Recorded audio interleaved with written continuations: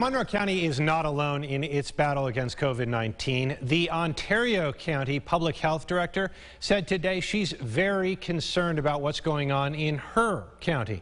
For example, Ontario had 63 new cases yesterday, bringing its total to nearly 1,400. More than 300 people are isolated. More than 600 are quarantined. 15 people are in the hospital. Kayla Green joining us now live from the Ontario County Health Department. Kayla, what does the health director say the surge is stemming from there? Adam, she says they're seeing a lot of cases coming from Thanksgiving gatherings as well as just gatherings in people's homes in general. She also says that they're seeing clusters, but more from events than specific geographic areas. She says this is widespread and it's affecting the whole county people are getting exposed out there and then giving it to their loved ones across the dinner table. Mary Beer is the Ontario County Public Health Director. She says the increase started in September, and each month since then, the county's cases have doubled. The Last month was the was more cases than we had seen ever. It's because people aren't being as careful.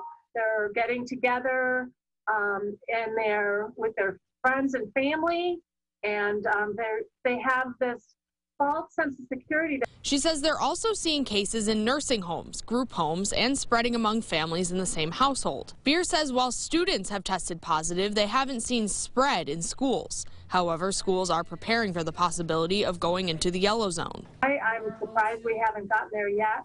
But part of it is that the numbers that we report are, are true whole numbers. Um, and I, the state looks at things a little differently. So I don't have the ability to say what percentage we have that are all grouped together. Beer says they haven't seen spread in businesses like gyms, hair salons, or restaurants, but there have been clusters in other workplaces among coworkers. It's difficult to do the contact tracing and the investigations, um, but in, and if this keeps up, it's we're just not able to do every single patient every single day. You know, stay home. This is not pretty out there, and it's it's just going wild.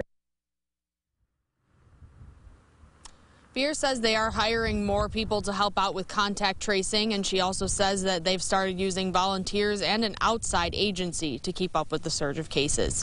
Live in Canandaigua, Kayla Green, News 8. Kayla, thank you. Beer is also warning anyone who attended a surprise party at the Moose Club on Saturday to watch for symptoms and consider getting tested. She says there have been several positive cases from folks who attended that event.